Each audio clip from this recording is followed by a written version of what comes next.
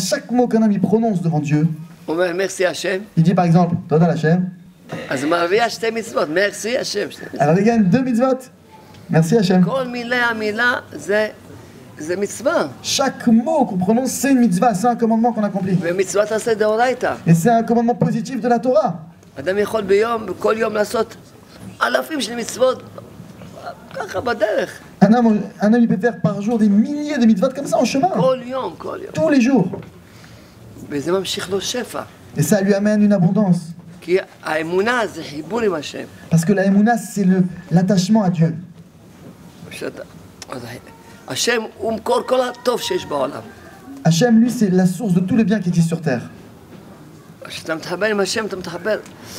כשאתה מתחבר עם השם, אתה מתחבר עם כל דבר, עם כל הטוב שיש בעולם. Dès l'instant où tu t'attaches à Dieu, alors tu t'attaches à tout le bien qui existe sur cette terre.